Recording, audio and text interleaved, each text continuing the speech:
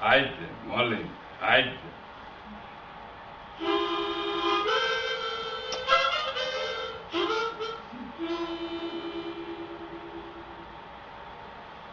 Tekrar burada navalove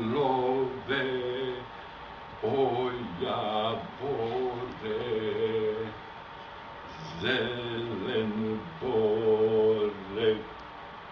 Mada se uhvatim za zelen bore su Znate, dobijam pismo, ja sam popularan, iako mi ne dolaze na preznik. Dobio sam pismo, ovdje sam negdje sabrao neka. Da vam pročitam. Godine počinju januarom, naročito kod nas, tako? Dobio sam evo ovako. Preteko smo i ovu 2011. nekako uz pjesmu Hej, Sloveni, još ste živi. Druga. Ova 2012. se izgleda ne računa. Možda samo zato što je predstupna. Prestupat ćemo, pa će nam svaki trud biti uzalud. Ali, a vidite ovo, srećna vam pripravnička 2013. godina u potpisu vaš Igor. Igor, Starovijski mir, možda ovaj naš doktor, ovaj pjesnik. Eurapo, drži se, znamo da si u krizi, strpi se, samo da krenemo i dođemo k sebi. Sad smo tek mogući kandidat.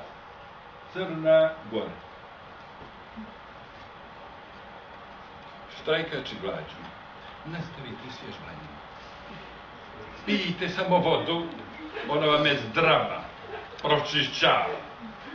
Dok vam padne marak na oči, poslat ćemo vam hitnu vlada. Vlada.